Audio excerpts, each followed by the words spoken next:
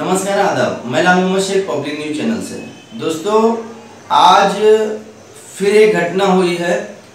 CST पे छत्रपति शिवाजी महाराज जो station है, जो एक बॉम्बे की आन और बान शान है, आप सब लोग जानते हो उस चीज़ को। वहाँ पर एक ब्रिज था, जो पब्लिक को क्रॉस करने के लिए बहुत पुराना है ब्रिज। मैंने बचपने से हम उस ब्रिज को देखते हुए आ रहे हैं। तो ये ब्रिज का हिस्सा देखते ही देखते कुछ गिर गया उसमें। कुछ हिस्से गिरने लगे और उसके लोग नीचे उसके कुछ लोग उसके चपेट में आ गए। तकरीबन बताया जा रहा है कि पाँच लोग मर मर गए हैं और कम से कम 11 से 12 लोग घायल हैं।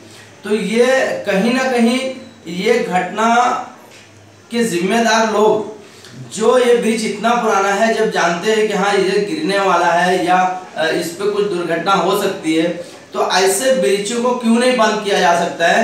जैसे कि बीच में भी एक कोकन के अंदर हुआ था वो भी बहुत बड़ा एक हादसा हुआ था। पूरी बस जो है खाई में चली गई थी बारिश के टाइम पे। वो भी ब्रिज बह गया था पूरा।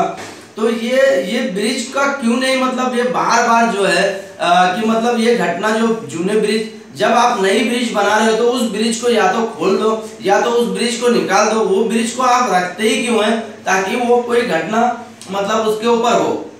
तो यानी ये कहीं ना कहीं ये मतलब लापरवाही का एक नतीजा सामने आया है, जो आप लोग देख सकते हो और आपके आँखों के सामने है। जैसे कि देख सकते हो किस किस तरीके से कुछ लोग ज़मीन पे पड़े हुए घायल और कुछ बॉडी जो है लेके गई है और अफरा तफरी का माहौल है। यहाँ पे पुलिस कर्मचारी भी और दमकल फायर ब्रिगेड भी सब आए हुए हैं यहाँ पर और अपनी कार्रवाई कर रहे हैं। पब्लिक भी काफ़ी ज़्यादा, वहाँ जो दुकानदार लोग थे, वो भी हेल्प किए हैं। तो ये मैं सरकार से ये न्यूज़ के माध्यम से कहना चाहूँगा कि ऐसी जो भी ब्रिजें हुए चाहे वो पब्लिक के क्रॉस के लिए है, चाहे गाड़ियाँ चलने के लिए है, ऐसे ब्रिज को बंद किया जाए, या तो उसको ना बंद कर सके, उसको डेमोनेशन कर दो, उसको तोड़ दिया जाए। मैं लाल मोहम्मद शेख, फिर एक नई न्यूज़ के साथ हाजिर होगा जब तक के लिए नमस्कार।